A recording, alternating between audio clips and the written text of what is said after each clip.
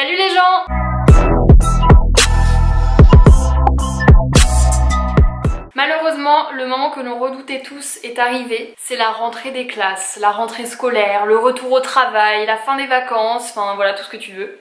Ah c'est déprimant hein. Je sais pas pour vous mais pour moi euh, l'année scolaire c'est aussi un peu un nouveau départ, une nouvelle année même si on change pas vraiment théoriquement d'année. Prendre euh, des bonnes résolutions et se mettre dans de bonnes euh, conditions. Donc voilà quelques petits conseils par-ci par-là, ça fait pas de mal et voilà vous pouvez les suivre ou pas, ça donc c'est parti Pour bien commencer une nouvelle année, pour bien commencer quelque chose de nouveau de toute façon, je dirais qu'il faut ranger ses idées donc dans sa tête et pour permettre un rangement pratique dans sa tête et se sentir bien dans ses baskets, c'est conseillé de ranger son appartement, sa chambre, euh, enfin sa maison, là où vous habitez, quoi, là où vous vivez. Parce que si votre lieu de vie est un petit peu euh, sans dessus dessous avec du bazar, tout ça, bah euh, tout de suite vos idées seront beaucoup plus bordéliques. Pendant que tu ranges tout ça, fais aussi un grand tri genre de tes affaires parce que des fois on est encombré de plein de choses qui nous servent absolument pas.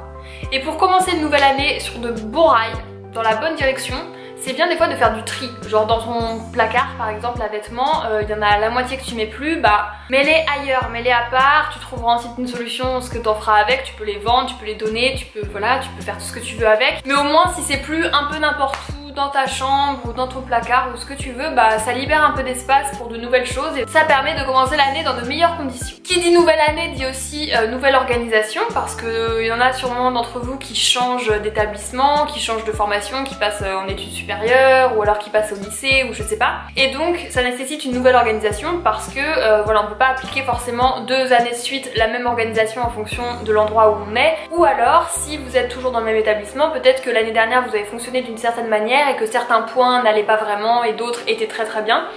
Donc vous pouvez repartir à zéro pour une nouvelle année avec une nouvelle organisation en gardant ce qui était bien d'avant et en ajustant un petit peu en fonction de ce que vous avez repéré qui n'allait pas pendant l'année précédente. Ça permet de commencer l'année encore une fois dans des bonnes conditions avec une organisation qui est organisé, super. Et du coup, bah, d'être un peu moins stressé sur comment va se passer l'année puisque vous avez déjà votre organisation qui est planifiée. Aussi, un bon moyen de bien commencer l'année scolaire, c'est de ne pas tout de suite perdre le repos qu'on a eu pendant les vacances d'été. Parce qu'on peut avoir tendance à se dire, voilà, je me suis bien reposée pendant les vacances d'été, donc maintenant, ça y est, là, le début de l'année, euh, j'ai plein de repos, je peux y aller, pump up, les sorties et tout, on se couche un peu tard, on regarde des séries jusqu'au bout de la nuit, même si on a cours le lendemain mais euh, vous grillez pas tout de suite quoi, enfin gardez un petit peu d'avance sur votre repos parce qu'en hiver on fatigue beaucoup plus. Ne passez pas directement à des nuits de 5 heures alors que vous avez dormi toutes les vacances pendant 8 heures de suite. Donc toujours garder ces 7-8 heures de sommeil.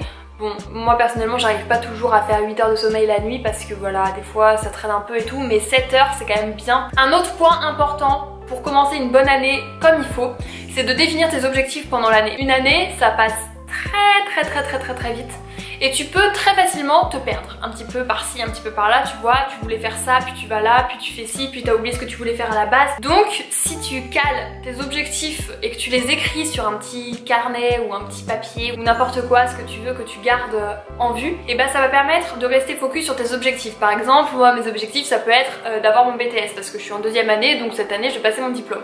Donc c'est un de mes objectifs de cette année, c'est d'avoir mon BTS. Donc je vais le noter, comme ça je vais pas oublier que des fois, si j'ai envie de rien faire et tout, bah mon objectif c'est quand même d'avoir mon BTS, donc il faudrait travailler, tu vois. Des fois on peut oublier des trucs comme ça. Aussi comme c'est un peu une nouvelle année, nouveau départ comme je disais tout à l'heure, vous trouver une nouvelle activité, une nouvelle passion, une nouvelle occupation, quelque chose de nouveau qui va changer par rapport à l'année précédente. Ça permet, mine de rien, dans sa tête, euh, de se sentir bien, de se sentir mieux, de commencer quelque chose de nouveau, donc c'est quelque chose de positif. Et donc, pour ta tête, c'est pas mal. Et comme on commence une nouvelle année, c'est aussi important de se recentrer sur soi-même, sur ta tête, sur ton corps, sur comment tu te sens, etc., tes émotions, tout ça, pour pouvoir euh, réharmoniser un petit peu euh, qui tu es. C'est au moment d'une nouvelle année, c'est quand t'as un point marquant, tu vois, c'est un nouveau départ, et bah du coup dans ta tête c'est plus facile d'essayer de, changer des trucs et de faire des petits arrangements et tout. Donc si t'as des choses que t'aimerais changer dans ta manière de faire, par exemple être moins stressé, faire moins attention à ce que pensent les gens par rapport à toi, enfin plein de choses comme ça qui sont par rapport à ta personne, à ton caractère, à ce que tu penses, que tu ressens et tout, et bah c'est le moment pendant les nouveaux départs, les nouveaux débuts d'année, que ce soit année, euh, voilà, les vraies années ou les années scolaires, et bah ça peut être des points marquants qui peuvent te permettre d'avoir un petit déclic plus facilement. Donc voilà, c'était mes conseils pour bien débuter une nouvelle année scolaire, une nouvelle année de travail. Euh, qu'importe où vous en êtes rendu dans votre vie, que vous soyez au collège, au lycée, euh, au travail, c'est le moment de prendre sa vie en main et de croire en soi, en ses rêves, etc. Voilà, tout est possible tout le temps. J'espère que ça pourra vous aider, que ça vous aura plu et n'hésitez pas à dire d'autres euh, conseils dans les commentaires si jamais vous avez d'autres idées qui pourraient aider les personnes qui regardent cette vidéo. J'espère que votre rentrée ou votre retour au travail s'est bien passé pour tout le monde. Et sur ce, je vous fais des gros bisous et je vous dis à très bientôt dans une prochaine vidéo. La bise